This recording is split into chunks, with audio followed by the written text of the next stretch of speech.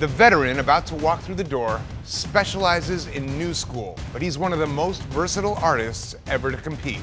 And that took him all the way to the finale Cleen Rock One.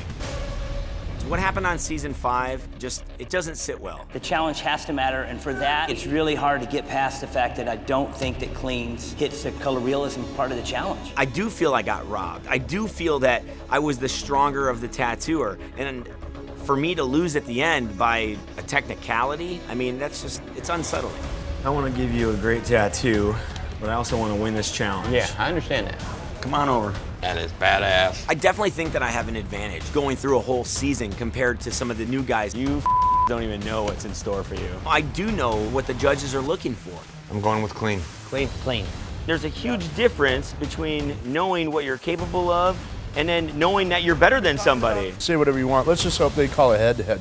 Now, you will each choose a veteran artist to face off against. I had to go head to head with Anthony. He stuck it to me. He knew exactly what I was weak at. He called me out. Black and gray, realistic, women, waist up, no tracing. You gotta draw it.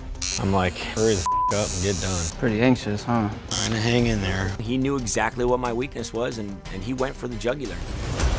Oh, what are you coming to rub it in my face that you guys already made it to the finale? If Anthony thinks that he's just gonna walk on in here with his chest all puffed up and he's gonna take the title, he better think again. The judges have decided Cleen. You are headed to the live finale. Congratulations, man. Hey! I am the most versatile tattooer that's ever come on this show. I'm coming back to show the world that I do have what it takes to be Ink Master. Ink Master Revenge, live season finale, Tuesday at 10 on Spike. Yes. Wow. This looks awesome. Coming in, we were kind of looking around, and once we figured out what the hell was going to happen, we were like,